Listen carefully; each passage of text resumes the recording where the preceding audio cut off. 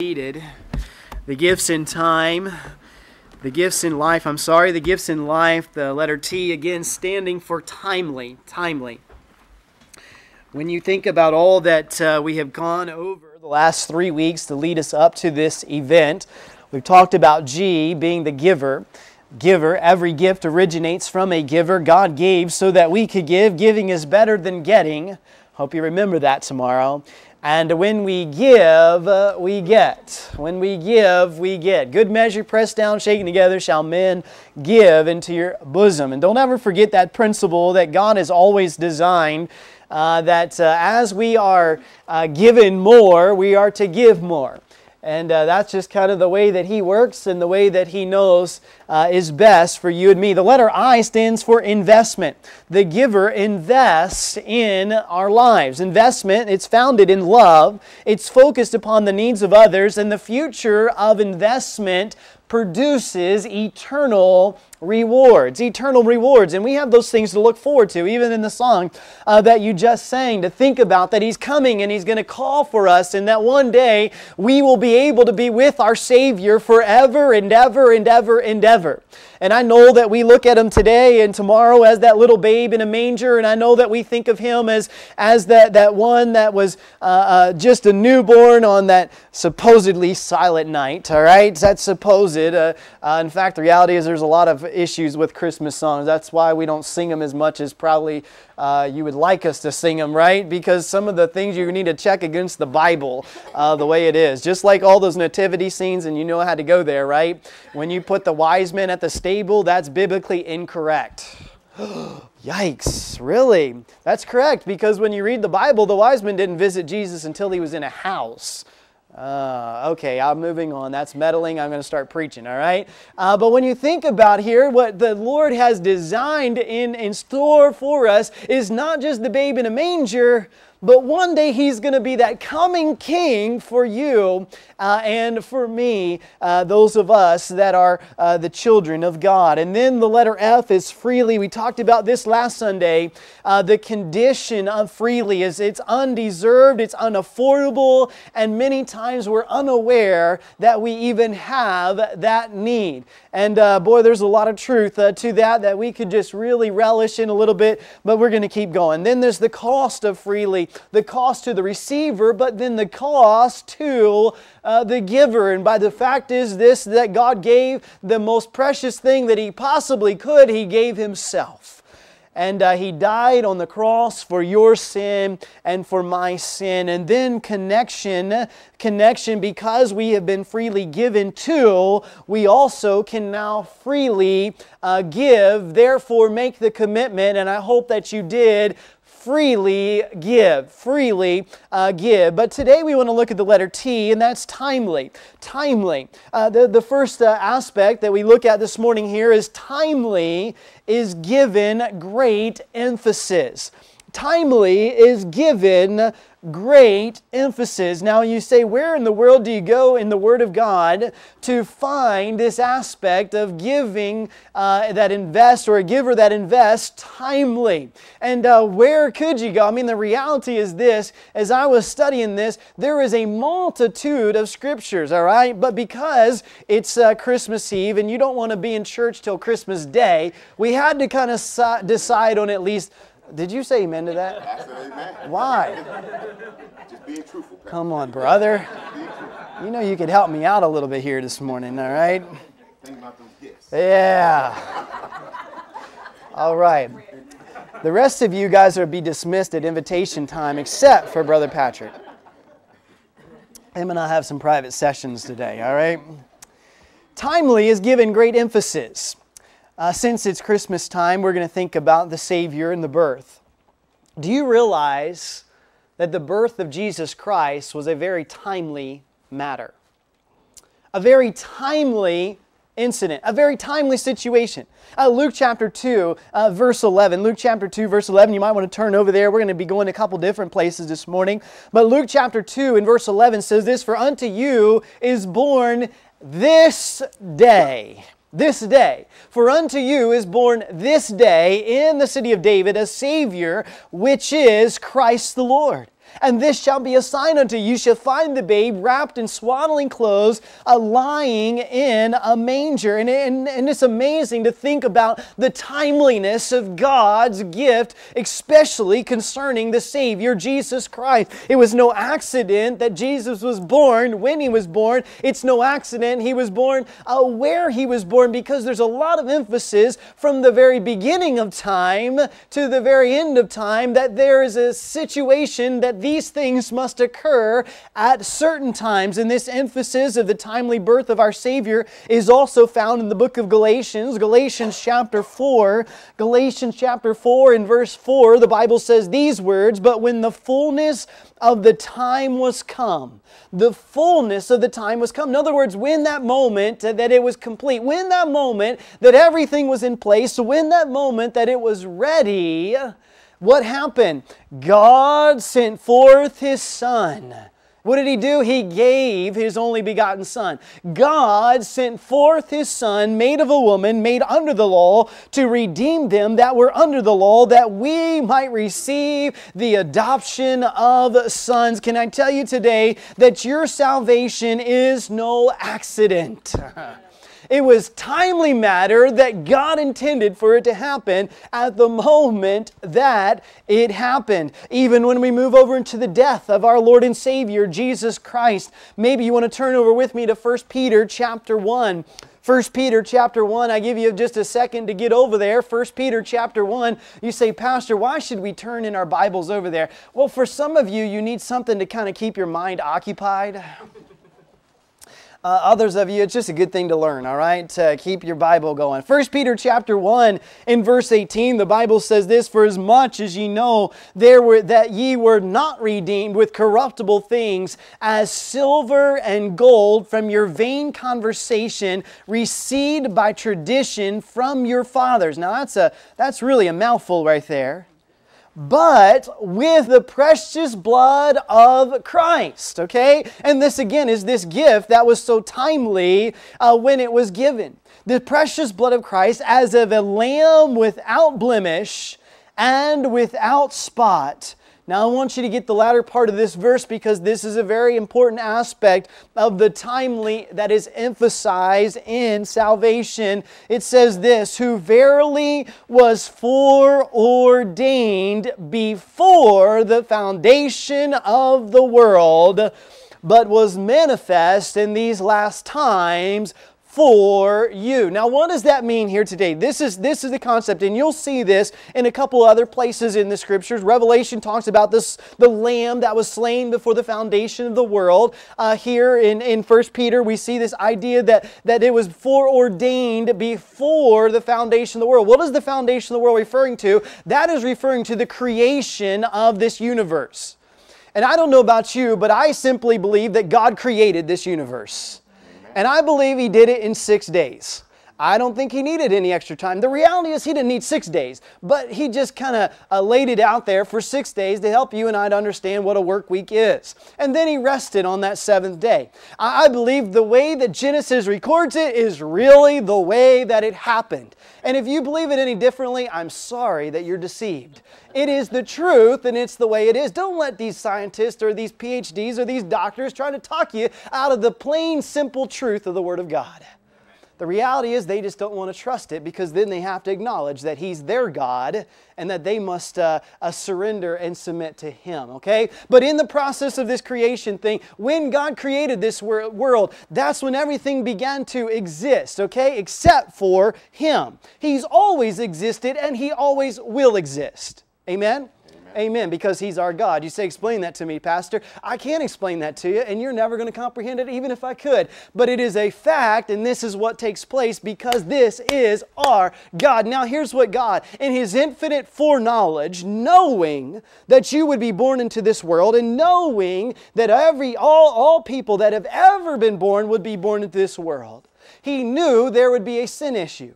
And in having a sin issue, he knew that there must be a, a plan of salvation put into effect for the sin of mankind. I mean, isn't this a wonderful thought?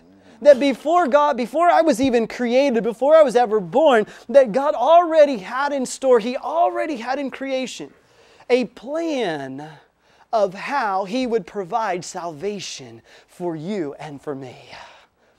You talk about a timely matter. And then, in the process of all of that, he knew at the right moment that Jesus Christ would be placed on this earth. He knew at the right moment when Jesus would be born. He knew at the right moment when Jesus would live. He knew the right moment when Jesus would die. And he knows the right moment when Jesus is coming again. In Mark chapter 13, in verse 32, the Bible says these words But of that day and that hour knoweth no man, no, not the angels which are in heaven, neither the Son, but the Father. Therefore take ye heed, watch and pray, for ye know not when the time is. You don't know when the time is, but there is emphasis placed that that time is coming. And when it comes to return of the Lord, everybody loves to ask the question, well, Pastor, when is, when is Jesus going to come back? When is he going to come back? I, I would really like to charge every credit card that I have to its max right before he returns. Ah, wrong reasoning there, okay?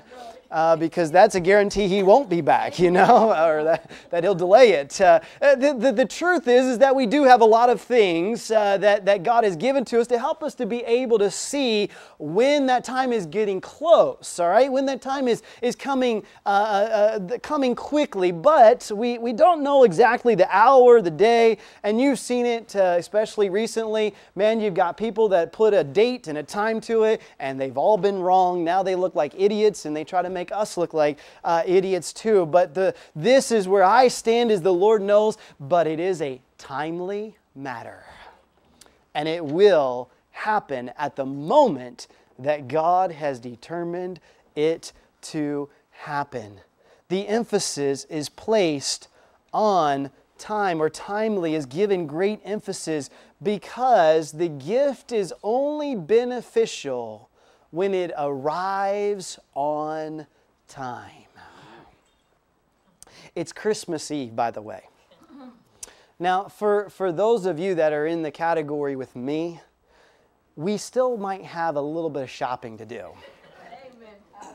Thank you, Miss Tracy. Now, here's the thing, though. She's on her own on this one because I'm done.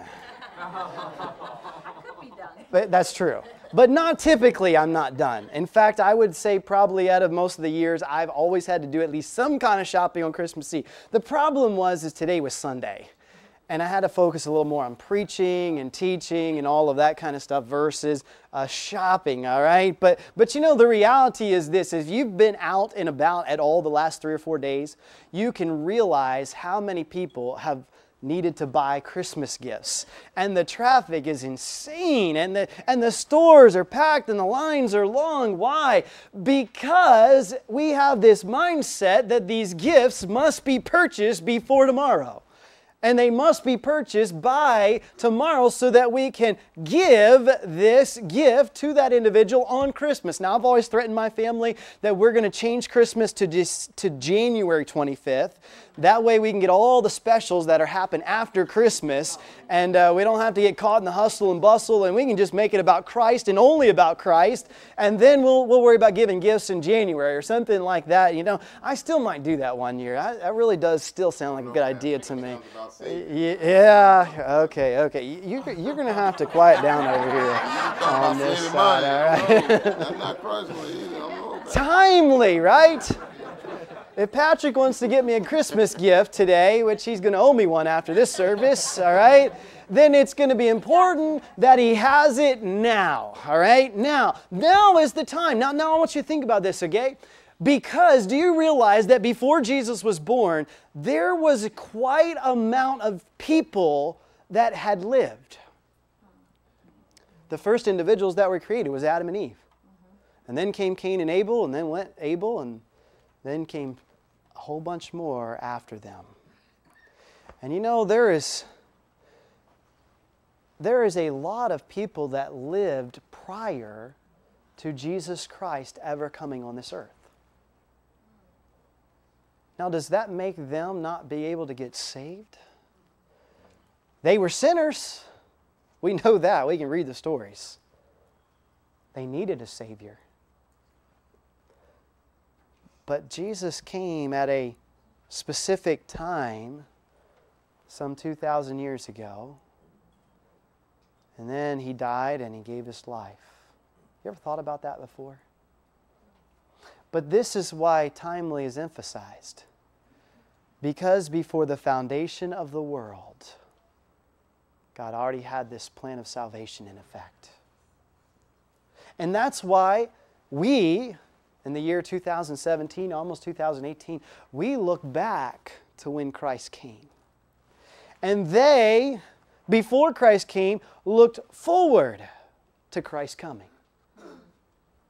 But because it was before the foundation of the world, it was already in effect, and Jesus or God taught it to those people so that mankind, from the very first Adam to the very last soul that lives, will all have opportunity to trust Jesus Christ as their Savior. It is a timely gift, a timely gift. But let me move on this morning. Number two, timing is part of the evidence. Timing is part of the evidence. So it's not only emphasized, but it's also given as evidence, all right? Evidence. And uh, when we see this kind of aspect, again, we're going to talk about the Savior here and, and, and uh, the birth and the death and the, and, the, and the return to realize that a lot of that points, because of the timing involved in this gift, it points to the fact that it really is so. It's part of the evidence that we have that says He is the Messiah. Uh, back over to Luke chapter 2. Luke chapter 2, and as you're turning there, let me give you just a few thoughts in regards to the fact that uh, our Savior was born when He was born, and because He was born when He was born, it has now proven evidence that He is the Messiah, that He is the gift of God for all mankind. You know that there's a many, many prophecies concerning Jesus Christ. In fact, somebody numbered them at about 333 uh, prophecies. Now, that, that extends over His whole uh, life from the very uh, birth to His death and to His return. But there's a lot of prophecies that Jesus fulfilled uh, in being the Messiah uh, that He is. But when you think about it in relation to His birth, do you realize that He was born at the exact moment that He needed to be born so that He would be born in Bethlehem? I don't think Mary and Joseph ever intended Jesus to be born in Bethlehem. Now, maybe had they looked at the scriptures, maybe had they had a little bit of understanding that he would be born in Bethlehem, maybe they would have tried to do something like that. But because of the taxation that took place at that particular moment, they had, by law, they were forced to travel to the little town of Bethlehem. Uh, though they lived in Nazareth, they had to travel to Bethlehem. You know, this became an important fact because when Jesus grew older and he began teaching and, and uh, preaching, uh, they, they challenged him with this fact. They said, Listen, can anything good come out of Nazareth? I mean, that's what these religious guys were thinking because they knew that Joseph and his family were from the area of Nazareth. But they also knew, the scripture said, in order for him to be the Messiah, he had to be born in Bethlehem. Now, this is where the timing comes in. This is why it's evidence because the taxation re- required Joseph to travel. He took Mary with him because he didn't want to leave her behind and have the baby without him. Uh, still, they traveled. That had been a pretty rough journey. But once they got to Bethlehem, guess what? All of a sudden, Jesus ready to come out. What a coincidence, right? How about the fact that the prophets had prophesied be- before uh, that during the death, uh, during the, uh, the birth of Jesus Christ, that this aspect of what King Herod ordered uh, the, of the death of all the children two years and un- younger across the land, and, and, and the prophets that prophesied and said that there would be this wailing and, and this mourning that would take place, you know, that had to be part of the time because Herod had to be on the throne, and Herod at that moment had to decide you know what, I don't want this little baby to live. I'm just going to kill all the other babies and hopefully uh, kill him, which thankfully uh, he did not do, was not able to get to Jesus Christ because of the protection that God provided. But again, what is that? That it's evidence that we're talking about the Messiah, the gift that God provided. Then you think of all the individuals that were involved in the birth of Jesus Christ and how the perfect timing was all about those individuals uh, being born. In Luke chapter, or being there a part of that birth, in Luke chapter 2 and verse 25. There was a man, uh, behold, it says there, there was a, in verse uh, uh 25 of chapter 2, behold, there was a man in Jerusalem whose name was Simeon, and the same man was just and devout, waiting for the consolation of Israel. And the Holy Ghost was upon him, and it was revealed unto him by the Holy Ghost that he should not see death before he had seen the Lord's Christ. Now, if God's gift had been late, this guy might have died, and then the Bible would be lying. But that's not the way it happened because timing, in the way that God gave, He gave in a timely manner. It is evidence of this gift that He has provided uh, you and I with. It says it was revealed unto by the Holy Ghost He should not see death before He had seen the Lord's Christ. And He came by the Spirit into the temple. And when the parents brought in the child Jesus to do for Him uh, after the custom of the law, then took He up Him, or took He Him up in His arms and blessed God God and said, Lord, now lettest thy servant depart in peace according to thy word. For mine eyes have seen thy salvation, which thou hast prepared before the face of all people, a light to lighten the Gentiles and the glory of thy people. Listen, Jesus was born at the very moment that he needed to be born. Amen. What a Messiah that we have. Mary, Joseph, John the Baptist, Elizabeth, Anna, the shepherds. I mean, you got so many other people involved. The wise men, and all of them right at the right moment, at the right time, right then, right there, because our gift from God was a timely gift. You think about when he would die. You go over to the book of Daniel, don't go there today because we don't have time or we're not going to take the time. Daniel's prophecies and when the Messiah would be cut off. The relation that Jesus was in, in uh, or that Jesus took in regards to the Passover and how he had to die on a certain day and a certain month and a certain date and how that high Passover had to be accomplished and how that all of that intricately fits together to demonstrate of what a gift we have received in Jesus Christ. And then you think of his return and all the times that go along with that. But you know, there's something about the timing of God's gift that provides us with evidence that he really does care about us. It's the same thing when we give to others. But in Psalm chapter 68, verse 19, the Bible says, Blessed be the Lord who daily loadeth us with benefits, even the God of our salvation, Selah. Now, I don't know about you, but that sounds like Christmas Day every day. daily loading us with benefits. Why? Because He's such a great God. And we know that in evidence because of the timeliness of His gifts. Daily, He loadeth us uh, with benefits. Turn over to Luke chapter 11, all right? Luke chapter 11. We'll look at this little, uh, this passage here uh, to help us a little bit in, in understanding the timeliness uh, behind the gift giving and how it, it really provides us with evidence of the giver uh, that, that God is. But in Luke chapter 11, uh, verse 3, part of the Lord's uh, model prayer that He provided the disciples and teaching them how to pray, uh, not that He ever intended it to be repeated over and over and over again, but rather to be somewhat of a form to give us to be able to use in our prayers. He says here in verse 3 Give us day by day our daily bread. Day by day, our daily bread. How many of you enjoy eating daily? Yes, uh, exactly. Uh, we don't uh, typically skip any day that we don't eat, all right? Unless it's a, a specific purpose or uh, maybe there's some kind of uh, unusual reason. But typically we go day by day, we get daily bread. You know, that is a gift that God provides us with. You say, well, Pastor, I went to the grocery store and bought it, or I went to the restaurant and paid for it. How did you get the money to pay for it? Well, I earned it. How did you get the ability to earn it?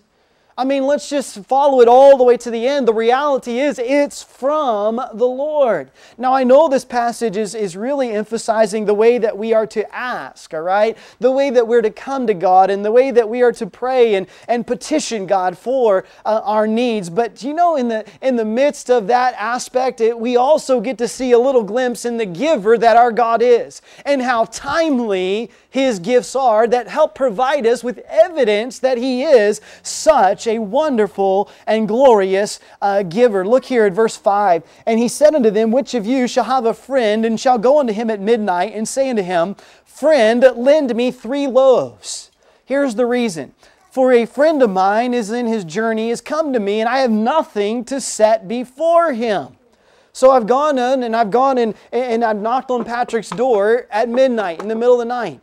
I said, Brother Patrick, hey, listen, uh, uh, Rick Mercer came to church today and I need to be able to feed him. Yeah, you better keep looking. Yeah. I have nothing to feed him with, brother. And he's saying, Pastor, do you realize what time in the middle of the night it is?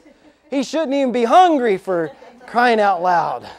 Let alone, why are you coming to me? Well, brother, all the stores are closed down. It's Christmas Eve. You know, everything's shut down early for a change. He said, McDonald's, I'm sure, is still open somewhere. right. I mean, you, think about it. Okay, so then he goes on here and he says, well, uh, and uh, uh, verse 7 uh, and he from within shall answer and say. Now, from within means this is what he's thinking about, all right? Trouble me not. The door is now shut. My children are in are with uh, with me in bed. I cannot arise and give thee.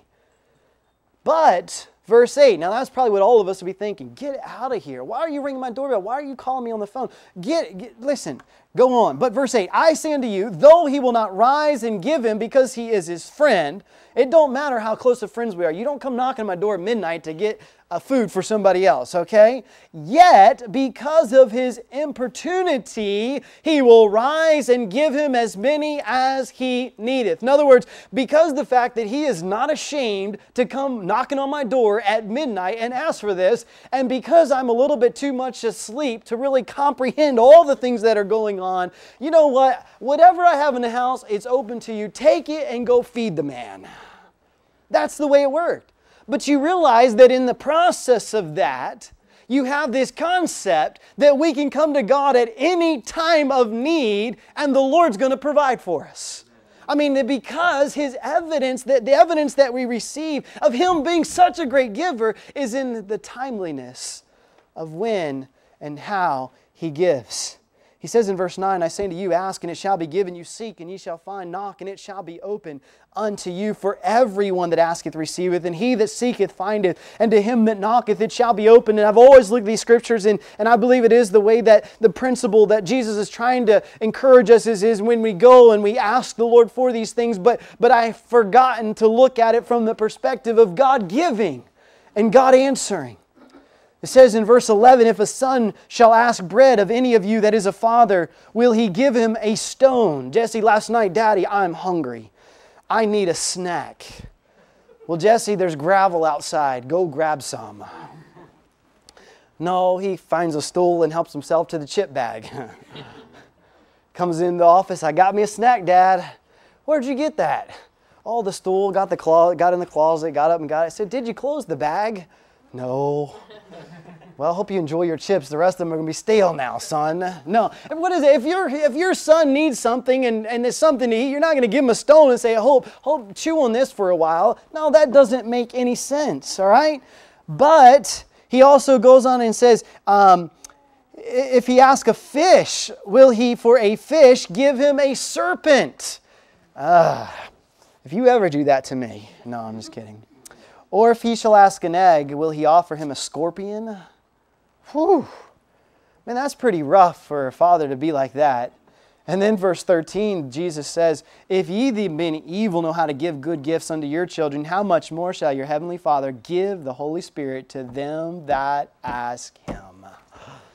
What do we saying? The timeliness of God's gift. You know, part of the evidence that he is such a great giver is because he knows what we have need of and He knows when to meet those needs. Yeah, He knows how to meet them. But He knows when to meet those needs. I don't know if you've ever experienced that, that amazing experience when you're praying for something and it shows up the moment you need it. It's pretty awesome. It's pretty amazing to see how God can work in such a timely manner. And you know what that does? It, that proves to me that He's real, that He loves me, that He cares about me, and that He knows me. And that's a lot to be said right there. Evidence of a timely gift. Now, you think about it for us in relation to others, right? You know, if somebody's hungry and they need food, you can only wait so long to provide food for them. Before, it's too late. Now, somebody hungry enough is going to go somewhere else. But you say, uh, I, I need some food. I need some food. Oh, I'll get, I'll get some. Let me see what I got, and eventually I'll get back to you. Don't worry, it, it'll work out, you know. But I'm hungry. I need, I need a snack, Dad. Hey, son, someday I'll provide you with a snack. No, I need a snack now. My metabolism is burning everything inside, Dad, and I need to eat. The timeliness of that gift will evidence to my son that I love him enough that I'm willing to give to him. But the last thing I want you to see this morning is this is time is of the essence. Time is of the essence. Here's the reality our Savior has already been born. He's died. He rose again. And He will soon return. Time is of the essence. In Hebrews chapter 9, we have some uh, wonderful passages there in that book. But we focus just a little bit here. Verse 26, the Bible says, For then must he have often have suffered since the foundation of the world. But now once in the world, or in the end of the world, hath he appeared to put away sin by the sacrifice of himself. And as it is appointed unto man once to die, but after this, the judgment. So Christ was once offered to bear the sins of many, and unto them that look for him shall he appear the second time without sin unto a salvation. You know, here it is, this the, the time is of the essence. The fact is this is that in John 3:16 we talk about how God has given and God has provided, and there is a Savior that offers salvation for anyone who's willing to repent of their sinful condition before a holy and righteous God and trust in the sacrifice of the Savior. But I can tell you this that the gift of God, salvation through Jesus Christ, until you take it, it is actually sitting there with your name written on it right before you. And the best encouragement I can give you is this time is of the essence. God has already provided a very timely manner a gift for you. And it's important that you take this aspect of time and realize that today is that time and reach out and grab that gift and take possession of uh, that gift. You know, the reality is, is not one of us are ever guaranteed tomorrow being Christmas Day for us. I'll never forget the young man. His face is stamped upon my memory. There was a few of them, they came into the church parking lot because of a broken down vehicle. I think he was right around 20. Brother Francis happened to be here. I was here. Came out, tried to help him, talked to him. Brother Francis brought some tracks out. And he handed these guys tracks. The next day, you open up the paper, and this young man was dead. Nothing wrong with him. He had a motorcycle accident. 20 years old, died. Can I tell you that time was of the essence for that young man? And if you think that's the only story like that, you're kidding yourself. These things happen often. You're not guaranteed tomorrow But I can tell you this as God has provided you the gift today. Right now. You don't have to delay. You don't have to walk out of here without accepting God's gift of salvation. Listen, if you are saved, there's no reason to take the gift again because you already got it. Amen? Amen? Praise the Lord. But if you're saved today, time is still of the essence. We must give the gospel while we can. In 1 Peter chapter 3 and verse 18, the Bible says, But sanctify the Lord God in your hearts, and be ready always to give an answer to every man that asketh you a reason of the hope that is in you with meekness and fear. The giver invests freely, but the giver invests timely. It's important for you today to understand how to share Jesus Christ with someone else. It's important for you to know, and it's important for you to be ready. That at the, that, that one timely moment in this world, when somebody asks of you, hey, I need to know how do I get to heaven? Can you please tell me right now? Right now, can you tell me? I need to know. You can whip this Bible out. Wow. There we go. And you can show me what it takes. Can I tell you today, time is of the essence. You think I'm preaching that because it's Christmas Eve and tomorrow's Christmas. Maybe you still have some wrapping to do, maybe you still have some purchasing to do. But I can tell you this that this particular area goes far beyond any present that you might provide somebody materialistically with today. The truth is this we must give to others while there is still time.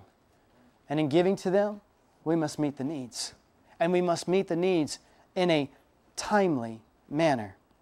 So, timely is given great emphasis because the gift is only beneficial when it arrives on time. But timing is part of the evidence because it proves the love of God who knows our needs and knows when those need to be filled. And time is of the essence because we must give while we still have opportunity to give. In 2 Peter chapter 3, turn over there with me if you would, and we'll be finished with this passage. 2 Peter chapter 3.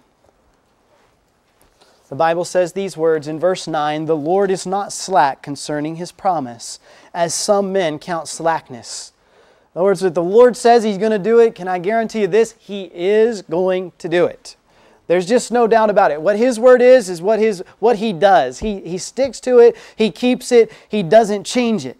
But the reality is this He's long suffering to us, word, not willing that any should perish, but that all should come to repentance. Do you realize this? That the reason that Jesus Christ may not return today is because tomorrow there might be somebody else that needs to accept Him as His personal Savior. I mean, that just that could very well be because the Lord is not slack concerning his promise. He's long suffering. He's willing that all should be able to accept this gift of salvation, this timely gift that he has provided. But I can tell you one day that time will run out.